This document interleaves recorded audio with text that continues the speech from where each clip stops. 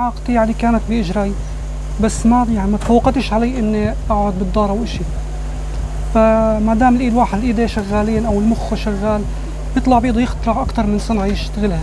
كل إنسان له موهبة وله قدرات إيه، بغض النظر عن الإعاقة، الإعاقة لا تعيق.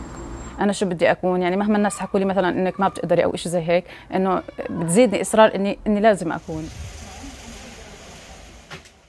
أنا تصاوبت بال 2002 كنت اشتغل تنجيد كمبايات كان ما عنديش صنعة ثانية فنزلت على مركز الشيخ خليفة بن زايد وعلم وتعلمت هاي المهنة عند الأستاذ منجد ابو زهران وتعلمتها وإجيت على المحل هون.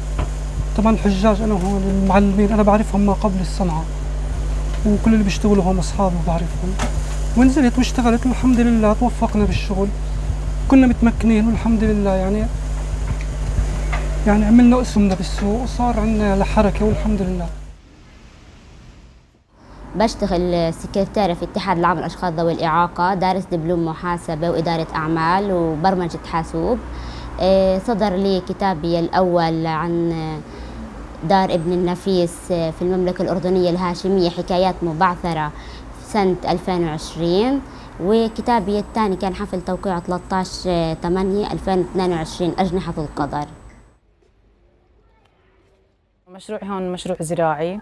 بديته بعد التخرج حابة أنتج وتفريغ طبعا آه، تفريغ طاقة آه، إشغال وقت الفراغ بإشي نافع وطبعا مدخول مادي.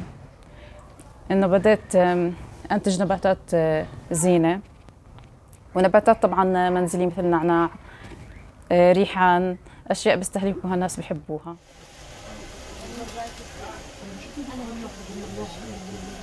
يعني إحنا في الاتحاد العام للأشخاص ذوي الإعاقة الكل بيعرف إنه مؤسسة حقوقية نقابية بتدافع عن حقوق الأشخاص ذوي الإعاقة.